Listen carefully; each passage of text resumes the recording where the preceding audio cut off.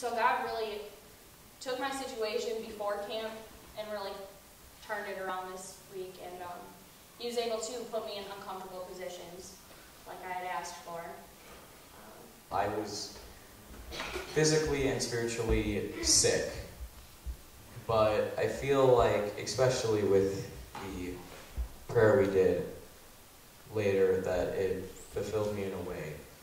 when I got here that I realized like how much love like that people have for me and how much love God has for me.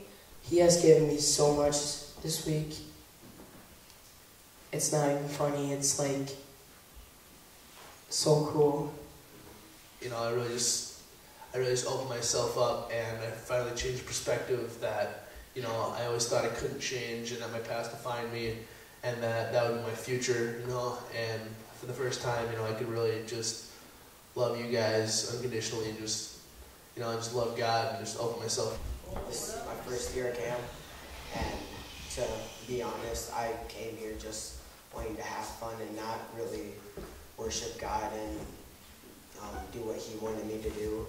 And but um, right on Sunday, we were doing um, evening chapel, and God was just like, "No, you're gonna worship me with all your heart," and that's what um, I did.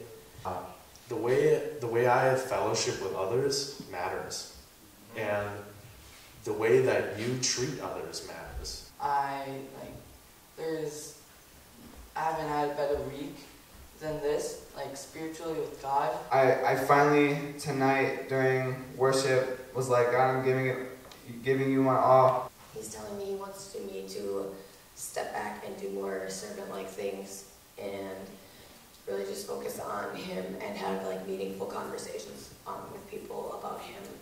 And he definitely, like the first worship service at chapel, was super powerful, but made me uncomfortable because I immediately began to see how real and how vulnerable everybody here is. Um, so, with that in mind, through my week, I kind of started to begin to understand that God was trying to teach me vulnerability and trust. So I was I was kind of going through the week a little blind, thinking that you know I didn't really need to worship as much. I didn't need to um, I didn't try to feel God as much because I thought I just I thought I had it already. But like I said, that's not the case. The reason, the true reason why I came here, not because I wanted to face it, is well because I did have a past. I mean, for ten years I never was able to worship God. I was never baptized and I never heard of Him really. So I just started going to church, and after a while I found God. Amen. God showed me the way. Hallelujah. And he got fixed.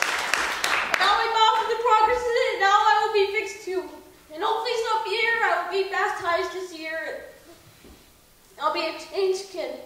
Um, But I knew there was a purpose that I had to be here, and I knew that coming into camp, I really wanted to find myself again because I felt like I had lost myself. I've worshipped in ways I've never experienced, and um, like I've heard more of Him than I ever had before.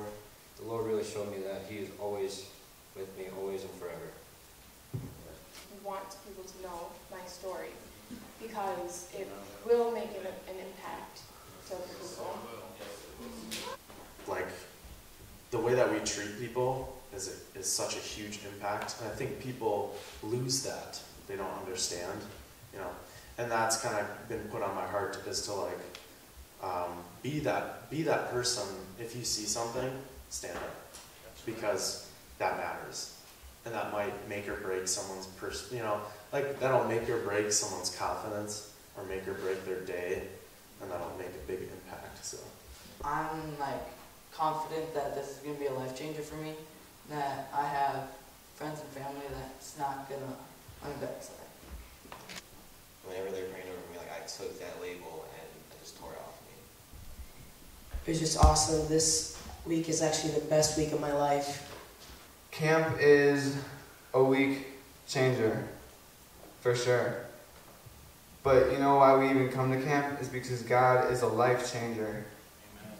And that's what I'm truly here for, and I hope that you guys see that too, because I'm sick of worshiping and being in God's presence for a week and then going back to my old life. I'm sick of it. Amen.